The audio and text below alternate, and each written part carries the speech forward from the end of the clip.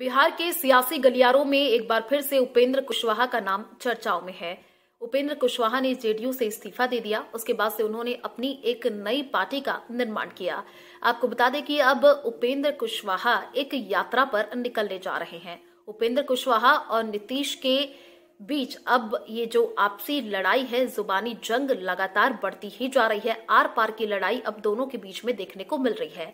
उपेंद्र कुशवाहा ने ये कहा है कि वो जो यात्रा निकालने जा रहे हैं, इसमें वो आम जनता से मुलाकात करेंगे और आम जनता से उनकी जन समस्याएँ भी सुनेंगे। साथ ही साथ उपेंद्र कुशवाहा ने ये कहा है कि करपुरी और लोहिया की विरासत को अब बचाने की ज़रूरत है और कहीं ना कहीं अभी जो सरकार है उस सरकार में लगातार धांधली देखने को मिल रही है और विकास का काम नहीं हुआ है। एक बार फिर से वो आम जनता के बीच में जाएँगे, उनसे बातचीत करेंगे और बिहार को विकास की ओर लेकर जाएँगे। साथ ही साथ नीतीश कुमार पर जमकर उन्होंने हमला भी बोला है।